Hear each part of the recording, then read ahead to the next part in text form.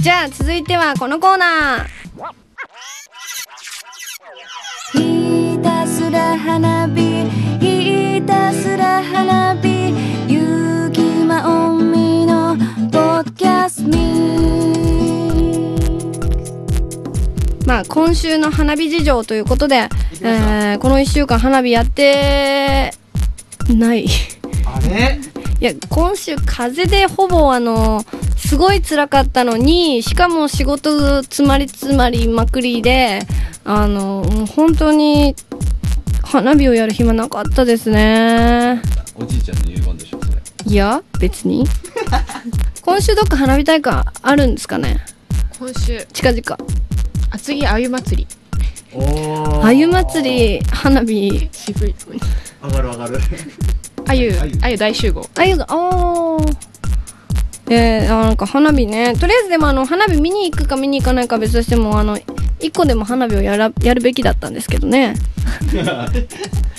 家にある家家にあるんですけどね。何かあるの？ドラえもん花火セットの残り。あとこの前あのインターフェムで線香花火したのの残りそそろそろなんか湿気始めてそろそろもう湿気てるかもしれませんね。でも私ばっかりなんかひたすら花火ネタで責められてるっぽいけど誰かさんはサイコロを振ってるのかしら？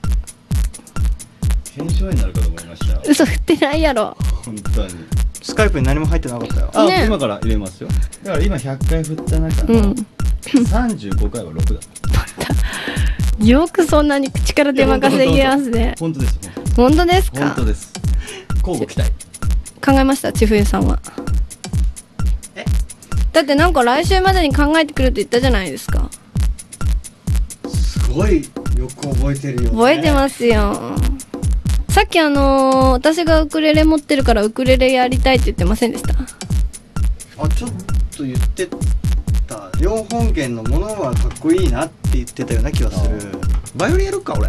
いいよバイオリン。弾けるようになってウクレレズ。with ウクレレズウィズ須田須田さんがギターも弾けるからここでもうオーケストラできちゃうじゃないですか。できちゃそれやろっか。やりましょうよ。バンドバンド。純ちゃんは？うえバンド？まあバンドかあ。あベースか。残りはベース。よ4弦つながりで。4弦。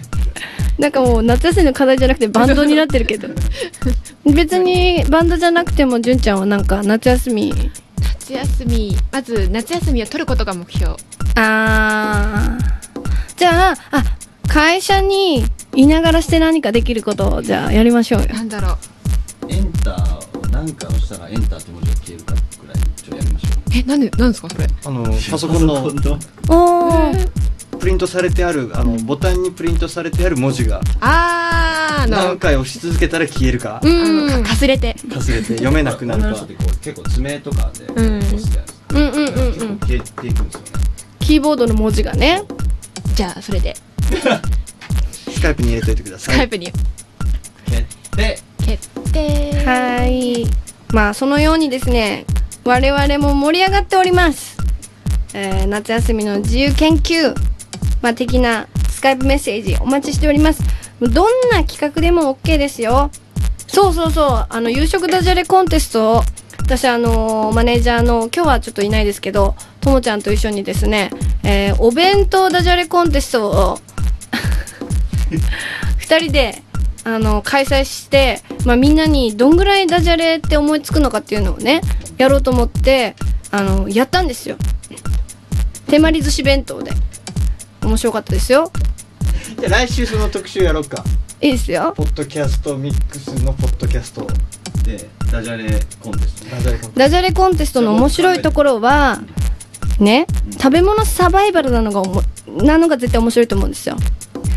だからこのあの収録の時って夜遅いじゃないですか、みんなその日は夕食抜きで来てえーお弁当持ってきてください。夜食も夜食持ち込みで。でそのネタでダジャレがグレイトって言われないとそのネタ食べちゃダメ。ああ面白い。っていうこの前はだからともちゃんと一緒に、えー、寿司ネタでやってたからイカとかさアナゴとかをともちゃんなんか2個攻めとかしてくるわけですよ。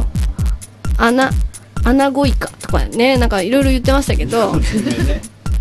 それ2個食べられるあじゃあそれ人のおかず言ってもこうゲットできる可能性人のもあるんだ。ごおかず言ってもそれを奪い取ることもできる。卵焼きでもいいですし。ずっとご飯だけ食べられないとかね。おかずばっかり食べてるそれそれやりましょうよ、面白い。まあ、そんな感じでどんな企画でも結構です